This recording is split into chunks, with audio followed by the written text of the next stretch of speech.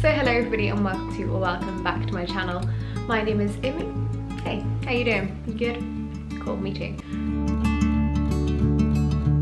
Today's video is actually going to be another sustainable and zero waste video. If you have subscribed to me or if you just take a quick look down my channel you'll see that I've done a few of these kind of videos regarding beauty products and regarding clothing as well as hack videos which is real fun. Love the toothpaste, worked very well, so I recommend that. But today's gonna be a little bit of a different one. Today is going to be about the zero waste culture that has appeared, which is great. You know, it's a step in the right direction. But a lot of the time people are buying these items because they are trendy rather than because they need them. If you're new to this, zero waste is obviously having items that create as little waste as possible. For example, water bottles and straws. These are probably the biggest ones. These are very, very obvious. We've heard about this for a while. David Attenborough is all over that.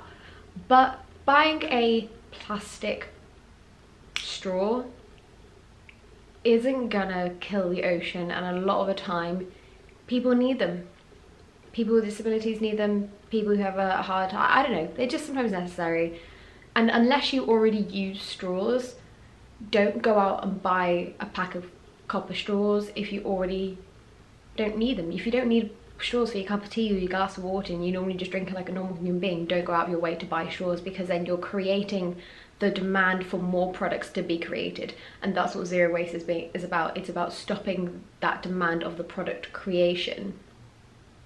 Does that make sense? Here I have my copper straws. I bought these when I started uni and I use them all the bloody time. I use them for my water and I use them for my smoothies because Joe and I have a smoothie pretty much every day. I like the metal ones but he doesn't really like the metal ones. So then we also have these plastic ones. These are reusable plastic ones. They're not one-time use ones, they are reusable. And we didn't buy these, we got some little glass jar things about two years ago and the straws came with them.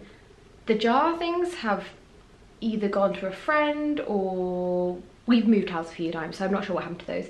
But we managed to keep the straws and Joe likes these, they're a little bit thicker, but because we're not, we, we don't have the need for them that often, Joe doesn't use them all the time. I like mine, he has his.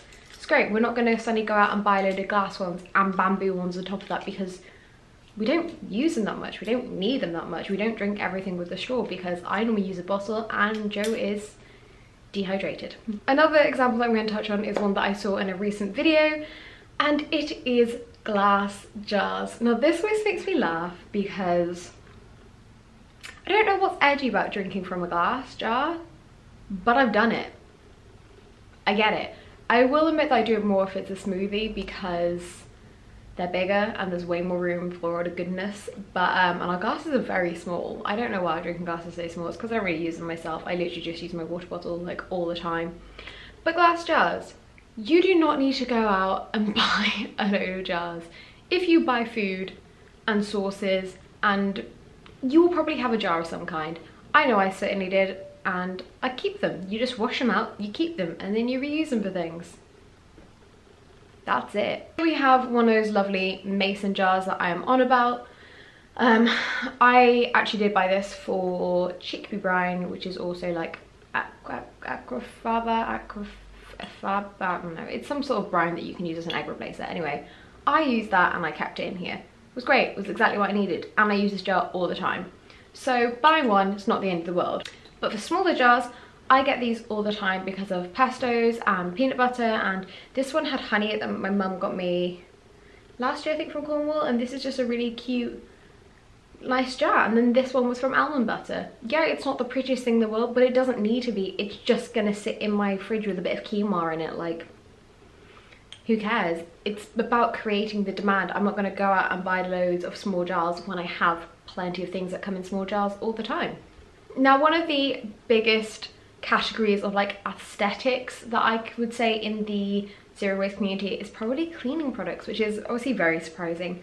But one, we do not need to be putting bleach down our toilets. It is so damaging for the environment. Like, if you want to start talking about not getting plastic straws in the ocean, let's start talking about not putting bleach in the ocean, shall we?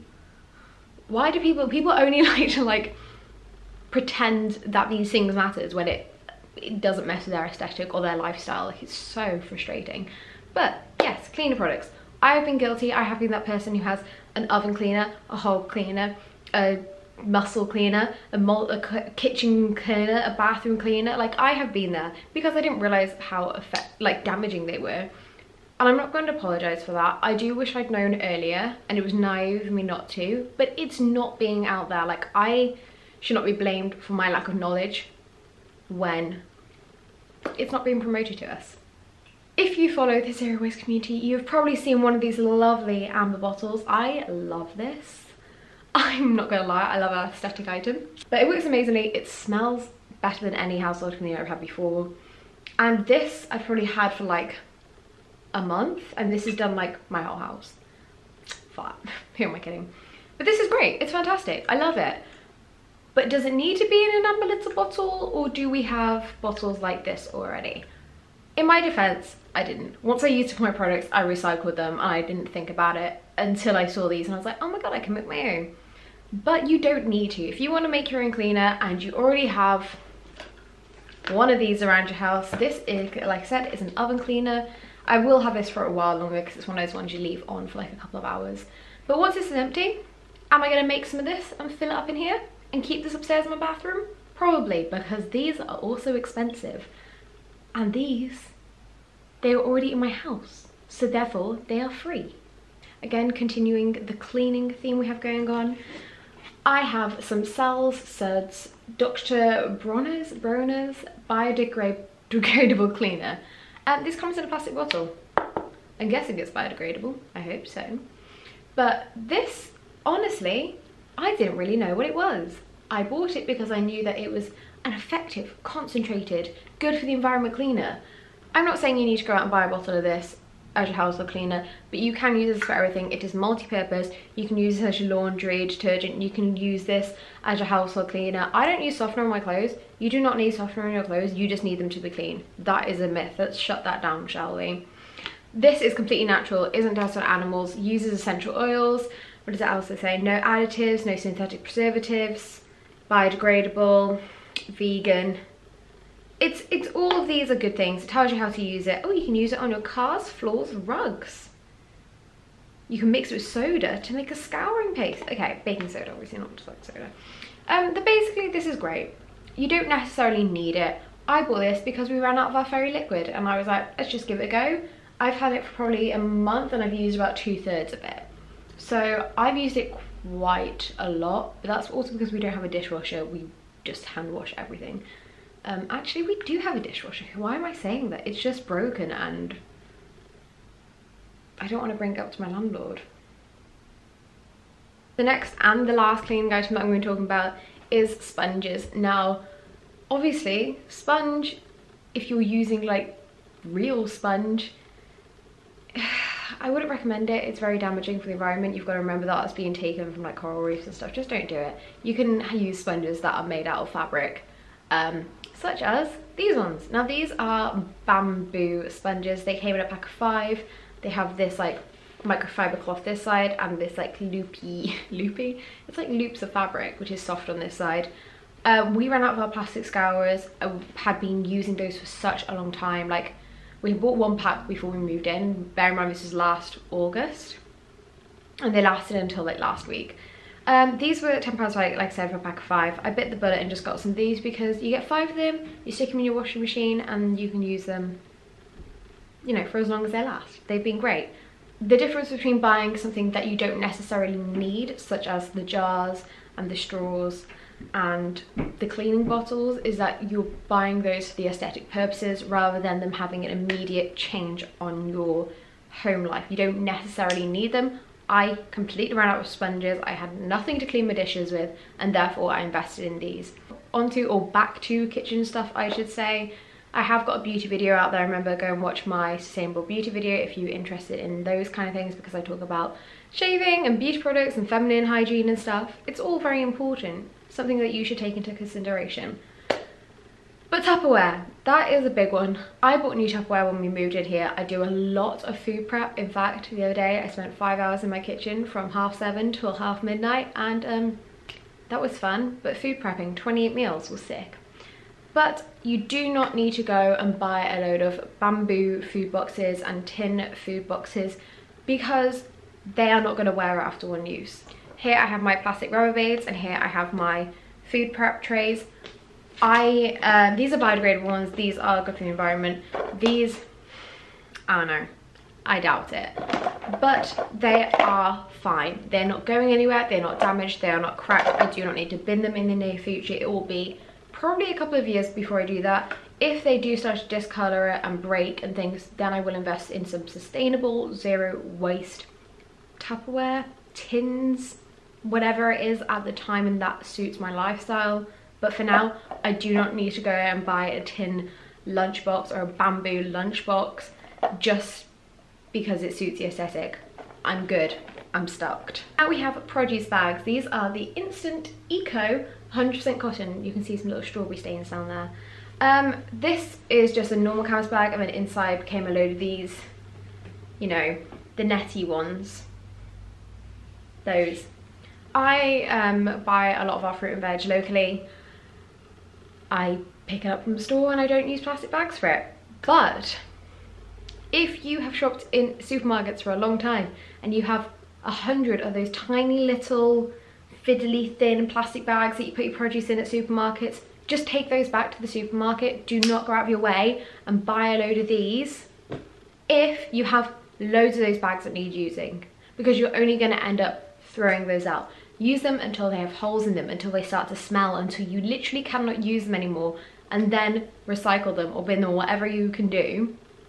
But do not buy these until you need them. On that very same topic, beeswax paper, um, wrap, wash, reuse. This is obviously a reusable food wrap. Put it around an onion, put it around your bowl. It's great.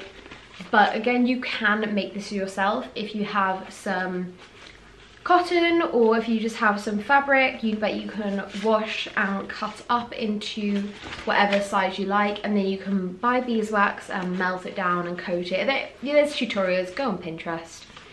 You can make these yourself. Um, i didn't because like i said we have just moved into a new house. We we're students. We don't have loads of spare stuff that we can cut up unfortunately.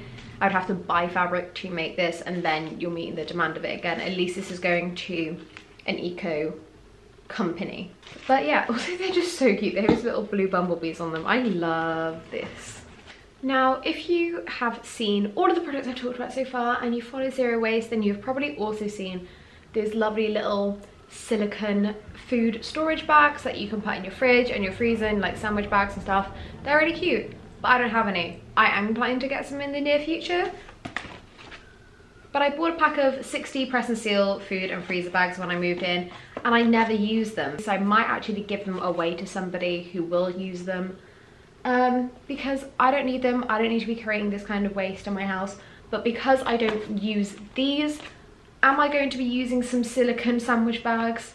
Probably not. Maybe when uni starts, I might start making sandwiches for Joe and myself because that is something that I do want to do in the future. Um, but for the moment, I don't need them. So don't buy a product that you don't have a use for just because it's aesthetic. It's really dumb. Um, and if I do want to make sandwiches for the meantime, I have these.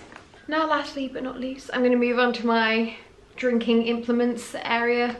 Except for I did the straws and the jars earlier. I haven't really coordinated this very well, but we're just going to go with it. So again, back to that immediate changes versus long-term changes if you buy a water bottle and if you buy a coffee mug, that is immediate trash. You cannot really reuse the item, so it is worth buying a reusable water bottle and a reusable coffee cup if you drink coffee and water daily. I mean, everyone should drink water daily. If you don't drink water daily, then, you know, think about your life a little bit.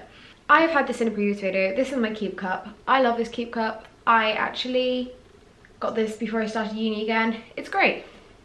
I can take my coffee to uni. Um, you get 10% off at places if you take it in. This one is heavy, it is glass, but there are loads of different versions you can get yourself. If you haven't seen them, you're living under a rock.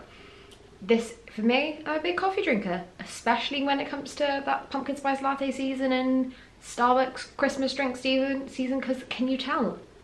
I'm a white girl. So therefore, I have to let everybody know that I have my gingerbread latte and I'm doing it sustainably. Now I'm on to my very last item and this was actually sent to me very recently so I'd like to say a huge thank you to Jedz for sending me this water bottle. I will be linking them down below as well as everything else I've talked about. Um, this is a new startup company. It's owned by a father and son, John and Ed, hence Jedz. And they were also kind enough to engrave it with my name. This is full of water right now because I've been drinking out of this since I got it last. I think I got this last Friday and I've literally been using it ever since, which is so gross, but that's me. So quickly a little bit about Jedz. Obviously they were firstly kind enough to send me this bottle and engraver, which is so cute.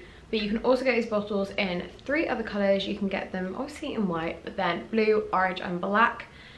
Um, they obviously are trying to do their bit to reduce single-use plastics, which is fantastic, as we all should. The best bit about it as well is that for every bottle that's bought, one pound is donated to Safe Water Initiative, so they are helping other people as well as helping the planet, which is just fantastic. And also, this bottle's great. I really like this bit because on my like other bottles, it's like a little bit taller and a little bulkier. I think it's just compact.